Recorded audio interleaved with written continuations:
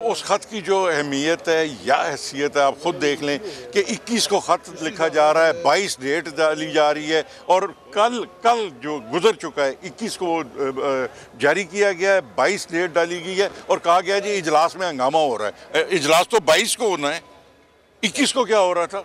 उस खत की कोई राजा साहब जरदारी फार्मूला काम जो कामयाब होगा या नाकाम रात गए तक वो चोरियों के आस्थाने पर बैठे हाँ, हमें सबसे बड़ी खुशी इस बात की है कि जो एक थ्रेट बना हुआ था एक शख्स जमहूरियत के लिए लोगों के मैंडेट को चोरी करने के लिए इस दफ़ा उसे मुँह की खानी सरदारी को। उन मैं उसी की उन्हीं की बात कर सरदारी को मुँह की खानी पड़ेगी। इनशाला पड़ी है। पड़ पड़ गई है ओके जी ओके।